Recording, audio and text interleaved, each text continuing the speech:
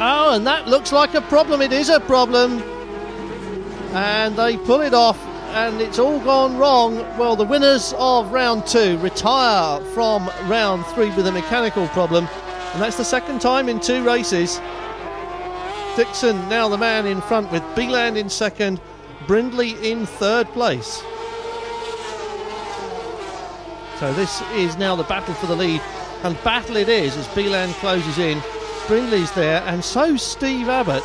So it's Great Britain first, third, and fourth at the moment. As Dixon, you can see, uses up all of the Assen circuit, stirring the dust as he runs wide, and stirring that box of tricks for the Goodell brothers to see if they can find out what it is they keep doing to the. Oh, Darren Dixon had the wheel of that right off the ground. Andy Hetherington was right in the middle. He was moving across for the next corner. They come thick and fast at Assen, and he was in transit from one side of the machine to the other, and that wheel came clear off the ground. Dixon still there though. That's Brindley, and that's Abbott, and that's Bohnhorst. Where is Biland? What has happened to Rolf Biland? He was right there, and now he isn't and it rather looks as though the reigning world champion has just become the defending world champion. Peter brown head is actually touching the ground there, there's no doubt about it. That was striking sparks from the tarmac, and there is Biland, and I think there's sparks flying between him and Waltisperg at the moment because that's another mechanical retirement.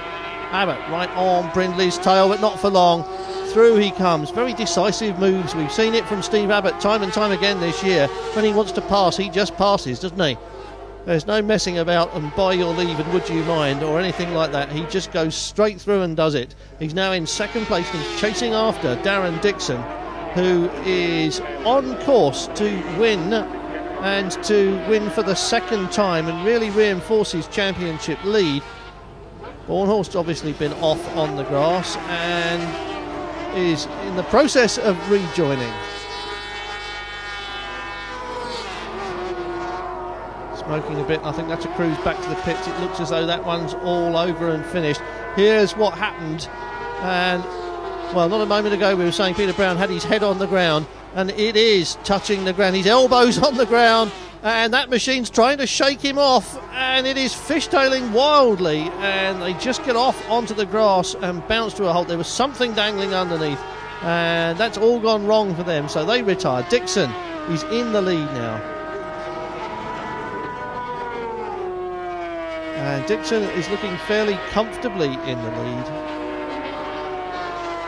No immediate pursuit. He's still pushing it through this little chicane on to the start finish straight there's Abbott a long way back. Dixon wins it.